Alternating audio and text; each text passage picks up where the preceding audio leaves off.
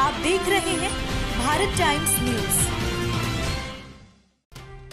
रायपुर मारवाड़ क्षेत्र में लोगों ने प्रधानमंत्री मोदी की अपील का पालन किया और साथ ही शाम के पाँच बजते ही महिला पुरुष बच्चों ने बड़े जोश के साथ अपनी अपनी छतों पर चढ़कर थाली, घंटी फटाके और शंख बजाकर कोरोना वायरस को भगाने का शंखनाद किया। इस दौरान लोगों में भारी उत्साह नज़र आया। ऐसा लग रहा था जैसे लोगों ने कोरोना वायरस को हराकर कोरोना पर विजय प्राप्त कर ली हो। बच्चे भी पीछे नहीं रहे, सबके चेहरे पर खुशी और जोश नज़र आया।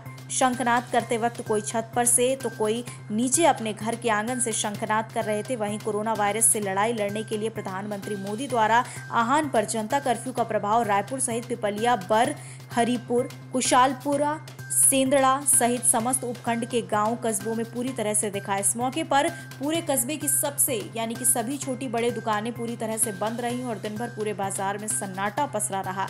इक्का दिक्का लोगों को छोड़कर लोग भी अपने घरों में ही कैद रहे।